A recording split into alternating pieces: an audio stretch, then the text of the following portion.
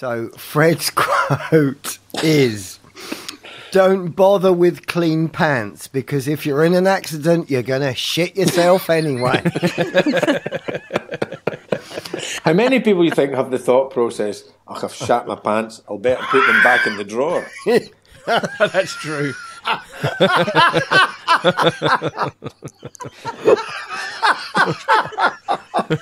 Maybe have a particular drawer specifically for the shat pants. oh, God.